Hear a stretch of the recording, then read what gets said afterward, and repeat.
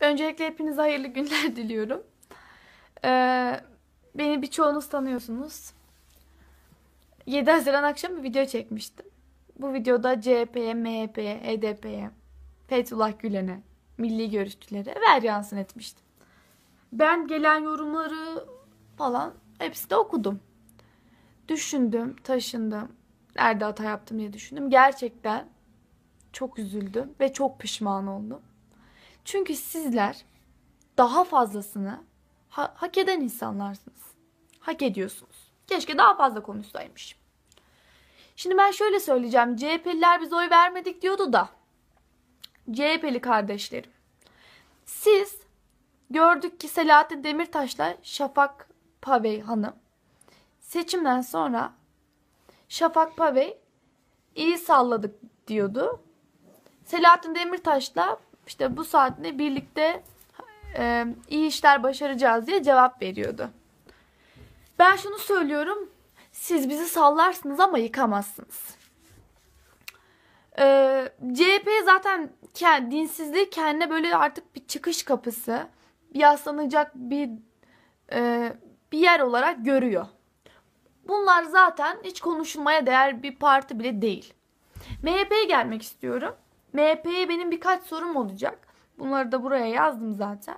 Unutmamak için. MHP eğer gerçekten Türk İslam davasını savunan bir parti ise kendisi gibi sağcı olan AK Parti dilinden düşürmedi. Ama HDP'ye çıkıp da bir laf etmedi. Ee, Türkçü olan e, sürekli PKK ile Erdoğan'ı bir tutan, AK Parti'yi bir tutan Bahçeli Öcalan'ı asmadın. Neden asmadın? Bunu da soruyorum. Ee, ve yine soruyorum. Cumhurbaşkanlığı seçiminde e, Kılıçdaroğlu ile CHP ile beraber çatı aday çıkardınız. Ekmelettin İhsanoğlu Bey'i. Çatı aday çıkardınız. Beraber e, seçmenleriniz beraber Ekmelettin İhsanoğlu'na oy verdiniz. Birlik oldunuz yani. Bu çatının altında da kaldınız siz zaten. Ee, benim MHP'lere kızdığım nokta şuydu. Siz gerçekten Türkçü bir parti olsaydınız e, siz zaten %50'yi geçemeyeceğini biliyordun. 80 milletvekilinin üzerinde milletvekili çıkaramıyorsun. %16'yı geçemiyorsun. %16 almışsın ona bile seviniyorsun. Eğer AK Parti'ye destek olsaydın bunlar meclise giremeseydi. Madem Türkçüydün bunu yapsaydın. Kalkıp gidip de CHP ile birlik ol olacağına sırf bir Erdoğan nefreti yüzünden bir AK Parti nefreti yüzünden AK Parti'ye destek olmadın. Çünkü sizin sevdanız koltuk sevdası. Acaba ne kadar daha bu koltukta otururum sevdası.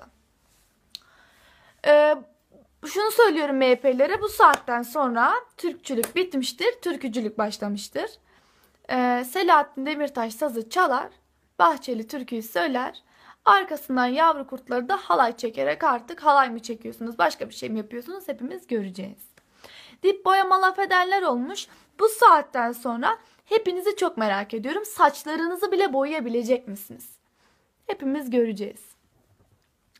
Ee, HDP'ye gelmek istiyorum. HDP denilen parti buna oy veren Kürtler şöyle söyleyeceğim size. Siz AK Parti bu ülkede iktidarı olduktan sonra insan yerine koyuldunuz. Bugüne kadar siz hep dışlandınız bunu biliyorum. Ama AK Parti'den sonra sizin e, doğaya yatırım yapılmaya başlandı. Sizi insan yerine koy, koyu, koydu bu parti. Koyuldunuz. Ama tabii ki de bugüne kadar hep böyle aşağılandığınız için, alıştığınız için e, tabii ki de doğal olarak e, insan yerine konulmayı benimseyemediniz. Size de hakkı veriyorum. Ben bütün Kürtler için konuşmuyorum. Bu HDP'ye oy veren Kürtler için konuşuyorum. İyi Kürtler zaten Müslüman, böyle dinle bağlı Kürtler. Eminim onların da aklı çelinde. Ee, bir takım oyunlarla, kumpaslar, kumpaslarla oy toplandı. Bunu biliyorum. Bana kimse inandıramaz zor oy toplanmadığını. Çünkü HDP PKK ile zihniyeti aynı olan ve aynı yoldan giden bir parti. Zorbalığı çok iyi yapan bir parti. Şöyle söyleyeceğim. E, bir şeyler bana işte e, AK Parti'den para almışsın diyenler oldu. Babana ihale mi verdi diyenler oldu. İşte bu saatten sonra işte AK Parti'de işte bir, bir sürü şeyler. iftiralar, hakaretler. Hepsini duydum. Şöyle söylüyorum. Ben eğer AK Parti'den 5 kuruş para aldıysam o videoyu çekmek için gençliğimi görmek nasip olmasın. Allah bana gençliğimi görmeyi nasip eylemesin. Ee, şunu söylüyorum siz tabii ki de bir yerlere giderken ismini de vermeyeceğim. Bir yerlere giderken para aldığınız için diyorum ki kişi kendinden bilir işi. Siz de tabii ki de kendiniz öyle yaptığınız için beni de öyle yapıyor diye düşünüyorsunuz. Para aldığımı düşünüyorsunuz. Ee, babası ihale almış diyenler oldu. Ee, benim babam 6 yaşından beri annem ve babam ayrı. Ve ben babasız e, babamla büyüyen bir çocuk değilim.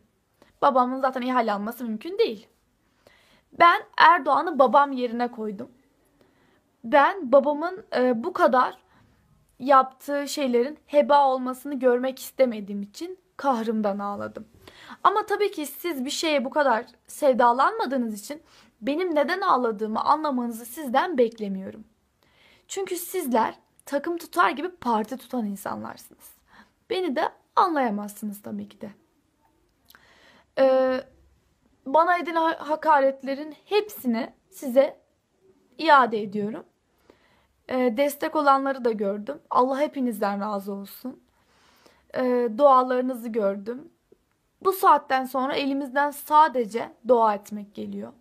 Biliyoruz ki dünya dualar sayesinde ayakta duruyor. Onların hakaretleri varsa bizim de dualarımız var. Ee, Erdoğan da dediği gibi biz bu yola kefenimizi giyerek çıktık. Ben ve benim gibi gençlerin olduğunu biliyorum. Bu yolda gerekirse ölürüz. Ama şunu söylemek istiyorum. Hain içeriden olunca kapı da tutmuyor. Hep birlikte bu hainleri bu ülkeden de def edeceğiz. Buna inanıyorum. Ne olur başınızı eğmeyin, dik durun. Çünkü Erdoğan bize dik durmayı öğretti. Bugünlerde dik durmayı öğretti. Ben o gün ağladım. Ama güçlü insan ağlar. Ben ağladım diye güçsüz diyenler, bir sürü şey diyenler olmuş. Hiç önemsemiyorum. Benim o gün canımın ya canım yandı. Gerçekten canım yandı. Ağladım. Pişman da değilim. Ee, şunu söyleyeceğim. Eğer Erdoğan beni duyuyorsa birkaç e, soytarı çıkıp da seni başkan yaptırmayacağız diyordu. Ben de diyorum ki seni başkan yaptıracağız. Biz ve bizim gibi benim gibi gençler, benim gibi düşünen insanlar seni başkan yapacağız. Kimse e, sevinmesin. Boşuna zafer naraları atmayın.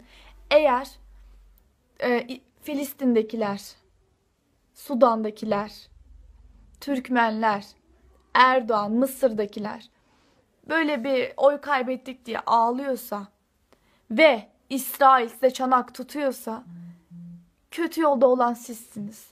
Düşman oklarının çevril, çevrildiği yöne bakıyorum. Ee, hepsi Erdoğan'ı gösteriyor. Ve Erdoğan biliyorum ki doğru yolda, İslam'ın yolunda. Korkunun necele faydası yok. Osmanlı siz isteseniz de istemeseniz de geri gelecek.